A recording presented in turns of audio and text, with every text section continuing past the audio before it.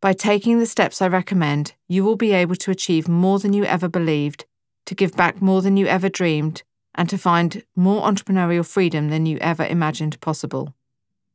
This is your roadmap to recognition. Follow it in detail, and you too will become a winner. It's time to take to the road.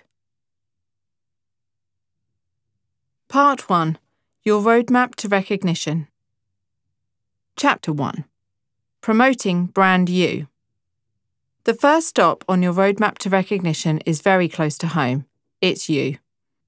Entrepreneurs don't generally set out to become entrepreneurs. They often start life in other careers and then decide to start a business to solve a problem, to do more of what they love, or to have more control over their life. They certainly don't start with their sights set on creating an award winning personal brand. I'm willing to bet that you're not hugely comfortable with promoting brand you.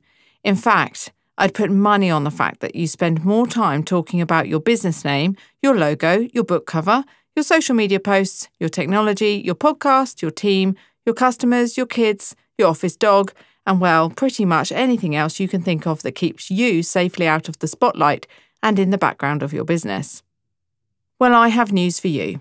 There's no I in entrepreneur, but there is a you.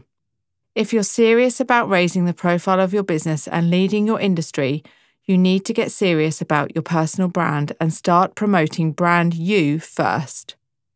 As Daniel Priestley, author of the famous book Key Person of Influence and the Accelerator Program, says, Your ability to succeed depends on your ability to influence. There is nothing more influential in business than winning an award. It's time to stop hiding behind your business name, come out from the dark and into the light, stand tall and say, Here I am, I am the business. Yes, I've failed and I've succeeded.